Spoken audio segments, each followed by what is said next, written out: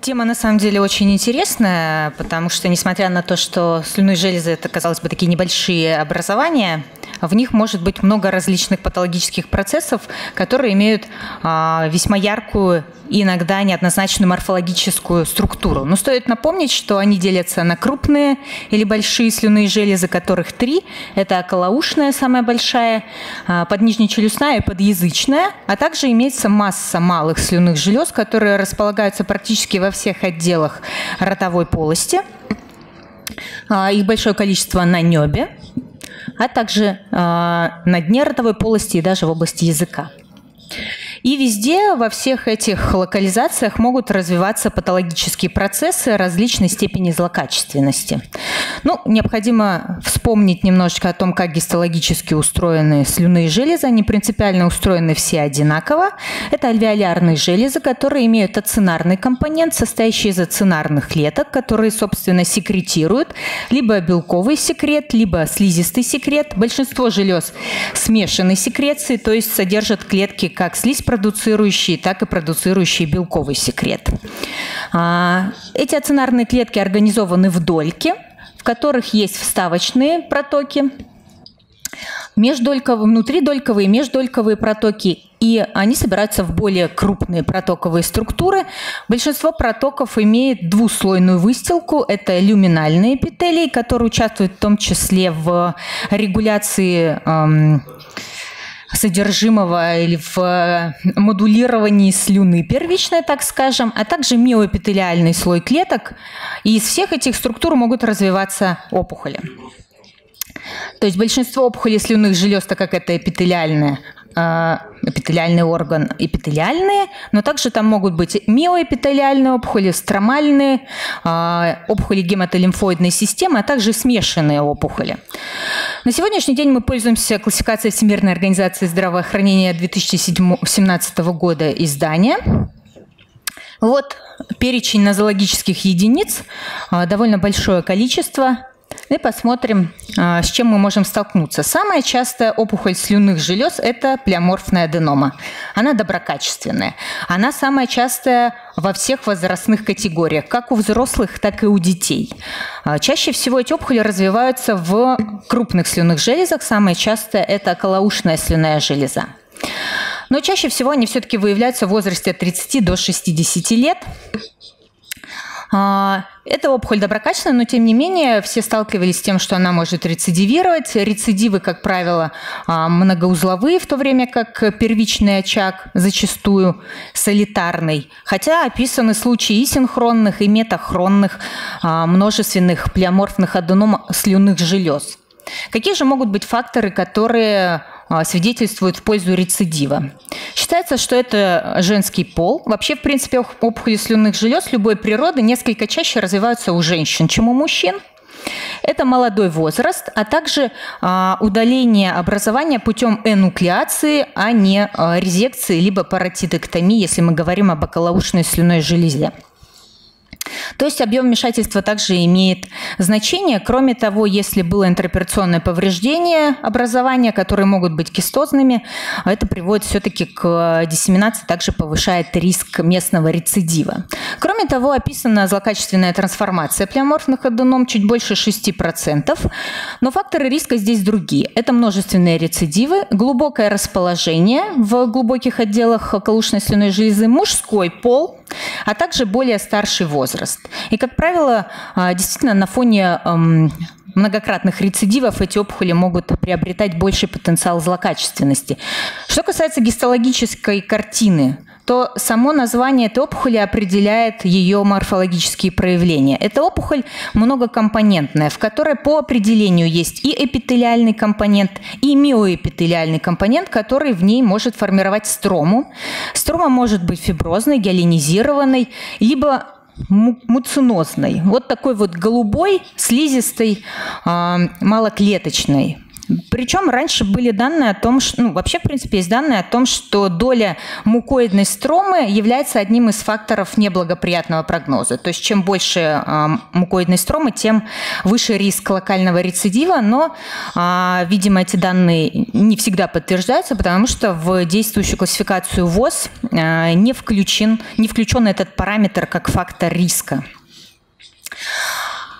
И для этой опухоли характерна определенная молекулярная сигнатура, перестройка с участием обозначенных генов. Зачастую они участвуют в транслокациях, а, которые приводят к активации их экспрессии.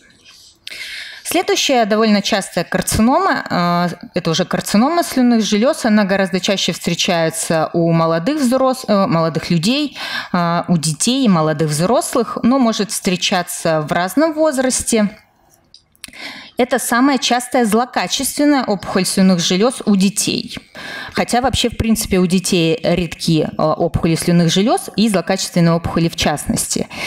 А, несмотря на широкое возрастное распределение, пик этих образований приходится на второе десятилетие жизни. Чаще они развиваются в крупных слюнных железах, но могут развиваться в слюнных железах любой локализации, в том числе малых и даже в бронхиальных железах.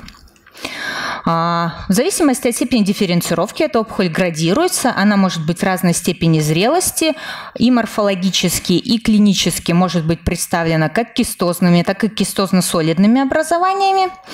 А, и по мере понижения степени дифференцировки определяется тенденция к нарастанию солидного компонента.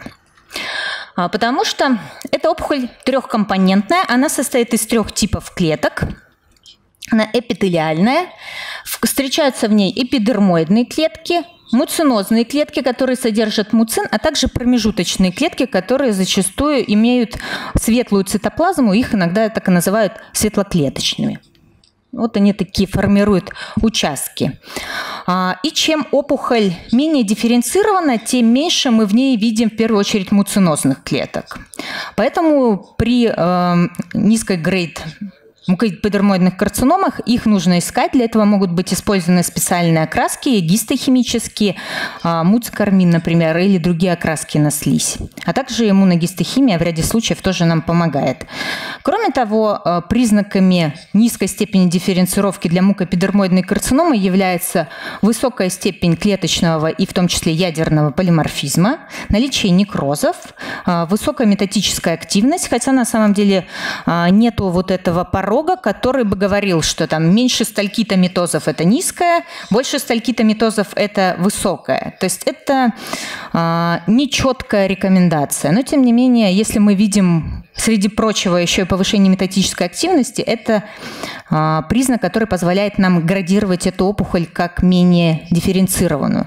И по мере понижения дифференцировки эти опухоли приобретают свойства к периневральной инвазии, лимфоваскулярной инвазии, а также инвазии в костные структуры. Я буду часто очень ссылаться на генетические данные, потому что на сегодняшний день классификация, в том числе опухолей слюнных желез, помимо гистоморфологических дискриминаторов, опирается еще и на достижение молекулярных методов. И для многих э, злокачественных опухолей слюнных желез выявлены характерные перестройки, которые не просто определяют биологию этих опухолей, но в ряде случаев могут быть и мишенью терапевтической. И для мукопидермоидных карцином характерен вот этот вот транслокация с формированием фьюжн гена с участием CTRC1 и MAML2 в большинстве случаев, э, реже CTRC3 MAML2. Есть э, некоторые перестройки, которые описаны для низкодифференцированных мукоперидермоидных карцином, но они не встречаются в достаточной частоте случаев, чтобы говорить о их высокой специфичности. Аденокистозный рак – тоже очень частая карцинома слюнных желез, с которой мы нередко сталкиваемся, хотя она составляет менее 10% от э, карцином слюнных желез. Здесь уже э, средний возраст, как правило, пик 57 лет – она чаще встречается в крупных слюнных железах, но более чем в трети случаев может развиваться в малых слюнных железах. Это чаще всего небо, но могут быть и другие локализации. Для этой карциномы, вне зависимости от степени ее дифференцировки, что является отдельным предметом для дискуссии, характерна периневральная инвазия. То есть даже для опухоли, которые выглядят очень высоко дифференцированы и зрело, а, сразу характерно наличие периневрального роста, что затрудняет определение истинных границ этого образования и, соответственно, радикальное его иссечение. Гистологически это а, двухкомпонентная опухоль. Она состоит из двух типов клеток люминальных и миоэпителиальных, которые формируют двуслойные трубочки и криброзные структуры. Здесь очень характерный паттерн – это криброзные структуры, то есть а, структуры, которые напоминают решето. Размер вот этих лакун может быть разный, их распределение тоже может быть разным. И характерно также наличие вот этого голубого муцина в просвете этих лакун. И диагностическим критерием является наличие именно двуслойности. Что касается грейдинга, то он не является а, общепринятым или утвержденным. Есть данные о том, что опухоли с более высокой долей солидного компонента, то есть который теряет способность формировать вот эти а, просветы, текут более агрессивно, если солидный компонент составляет более трети массы образования. И для этих карцином характерна активация МИП-1 или МИБЛ-1, что может быть терапевтической мишенью. Кроме того, аденокистозные карциномы в люминальных клетках экспрессируют CD117, но препараты э, цикит-ингибиторы не работают при них, а также может быть экспрессия GFR, и, к сожалению, тоже GFR-ингибиторы неэффективны. А, аденокистозный рак имеет невысокую частоту надального метастазирования, но может метастазировать гематогенно, где-то тоже в 30% случаев. И вот у нас был случай а, у пациента была удалена щитовидная железа по поводу рака щитовидной железы, и в ткани мы обнаружили вот такие вот э, криброзные структуры с голубоватым э, содержимым в просвете этих фолликулоподобных структур, которые можно было бы принять за какие-то маленькие сгруппированные фолликулы щитовидной железы, но тем не менее так остался, оказался метастаз аденокистозного рака в щитовидную железу. У пациента несколько лет назад была удалена околушная свиная железа по поводу этой опухоли. Об этом нужно помнить. И, безусловно, а, данные анамнеза очень важны для морфолога всегда. Очень много карцином других, о которых а, можно говорить на самом деле целый день. У нас сейчас нет такой возможности подробно на всех э, из них остановиться. А, что касается тенденции, то во многих этих опухолях вы видите есть характерные перестройки, которые мы можем выявить. И сейчас классификация, морфологическая диагностика идет по пути использования молекулярных методов, в том числе тканевых молекулярных методов в виде флуоресцентной инситу гибридизации для того, чтобы а, сделать наш диагноз а, более надежным. И, как я уже говорила, часть из них могут иметь э, свойства терапевтических мишеней. Но еще хотелось бы несколько слов сказать о карциноме, которая развивается из плеоморфной аденомы. Это э, пример э, того, как мы должны с вами сотрудничать, потому что при отсутствии клинической информации не всегда мы можем поставить диагноз, особенно если мы сталкиваемся первично с метастазами подобных образований. И вообще это очень интересный механизм прогрессии. Чаще всего, конечно, плеоморфные, э, из плеоморфных аденом карциномы развиваются в рецидивных плеоморфных аденомах. Э, пик где-то в среднем на 10 лет выше, чем пик э, плеоморфных аденом, это 60-70 лет. Опять же, подавляющее большинство из них это колоушная слюная железа. Есть мутации, которые характерны в том числе для плеоморфной аденомы, и есть мутации, которые определяют прогрессию. Это и мутация в гене P53, и амплификация в гене МДМ2, может быть мутация в а, РББ2, который кодирует HER2, всем небезызвестный, и тоже порядка до 38% случаев. А, механизм злокочисления тоже определяется природой этой опухоли. Это опухоль многокомпонентная, и прогрессия до карциномы может идти в двух направлениях. Это о злокачествении эпителиального внутрипросветного компонента, и тогда мы видим в виде злокачественного компонента, а, как правило, протоковую карциному слюнных желез или соливаридакт карциному. А, либо может малигнизироваться миоэпителиальный компонент. Миоэпителиальные клетки формируют так называемую миоэпителиальную карциному как компонент а, вот этой плеоморфной аденомы. Зачастую эти миопителиальные карциномы, они развиваются в 35% случаев, и они имеют низкую степень злокачественности. То есть их дифференцировать от а, каких-то пролифераторов миопителиальных бывает не очень легко. Это требует тщательного исследования удаленного материала. И вот такие вот участки, когда мы видим, что один из компонентов плеоморфной аденомы начинает преобладать, и мы видим наличие наличие инвазии, это может быть микроинвазия, либо широкая инвазия, конечно, свидетельствует о том, что это уже развитие злокачественного процесса в доброкачественной опухоли. И протяженность инвазии имеет прогностическое значение, то есть это должно быть указано, как и тот злокачественный компонент, который мы выявили. Это тоже наш случай. Мы столкнулись у этого пациента, у него, помимо всего прочего, еще неходжкинская лимфома, вот с такими вот образованиями в легких. У него множественные узлы в легких, которые имели очень медленную динамику, то есть они практически не росли а, и были представлены миоэпителиальными клетками без каких-то выраженных признаков а, злокачественности, без полиморфизма или метатической активности. А, в таком у него была плеоморфная аденома, в которой при повторном анализе была выявлена карцинома, развившаяся из плеоморфной аденомы.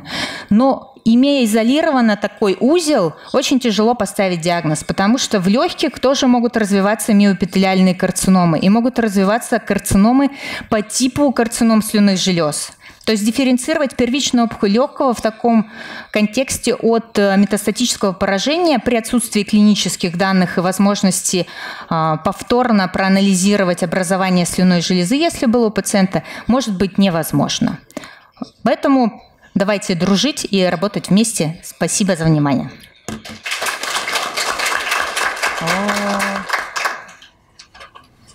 Спасибо большое за доклад. Кто хотел бы задать вопросы докладчику? Да, пожалуйста.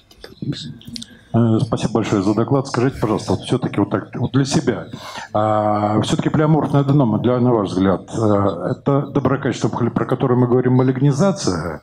Или вот э, лет 30 назад у нас был доктор еще в больнице городской, который в каждой плеоморфной аденоме видел элементы цистоденокарциномы? То есть, или это путь развития, то есть какой-то более быстрый и более медленный. То есть вот в каждой он в плеоморфной аденоме видел, он нам показывал элементы угу. цистоденокарцинома. Так вот. Или это исходно, ну как вот вы недавно делали доклад по специальным опухолям, то есть такой сдвиг. Угу. Или это исходно уже предзлокачественная опухоль? Если честно, я не знаю ответа простого на этот вопрос. Потому что если мы э, возьмем э, вообще спектр я думаю, это спектр, как всегда. То есть мы всегда имеем дело с каким-то а, проявлением спектра образований. То есть либо мы застигаем его, когда оно доброкачественное и имеет близкий к нулю потенциал агрессивного течения, либо мы его застигаем на каком-то промежуточном этапе. Есть, скажем, метастазирующая плеоморфная аденома, которая не имеет морфологически однозначных признаков злокачественной опухоли, но при этом мы выявляем метастазы этого образования. И теч... ну, есть разные данные. У нас был такой случай, мы искали литературу. По одним данным литературным эти опухоли ведут себя как карциномы слюной железы, а по другим данным нет, ведут себя благоприятно, и в ВОЗовской классификации написано, что они ведут себя благоприятно. Как они ведут себя на самом деле, не знаю. Может быть, это вопрос, опять же, самплинга, это вопрос тщательности исследования первичного образования, может быть. И в, в качестве другого края спектра мы видим образование с однозначными признаками злокачественности. Спасибо. Ну, на, на самом деле, долгое время бытовало мнение, что вопрос о том, злокачественное, а, а произошло ли злокочисление полиморфной аденомии, часто ставился по клиническим данным, на самом деле. У меня такой вопрос. Скажите, важный момент э, клинического течения аденокистозного рака – это периневральная инвазия и э, рецидивы, обусловленные распространением по нервным стволам. Периневральная инвазия с точки зрения патоморфолога – это просто врастание опухоли в нерв или это именно распространение по периневрии? А, это очень четкая морфологическое проявление, когда опухолевые клетки проникают под периневрий. То есть она, опухоль проникает вот в этот футляр, который окружает нерв, нерв и потом ей просто гораздо легче по футляру распространяться. Распространяться, да, да, за пределы. Спасибо.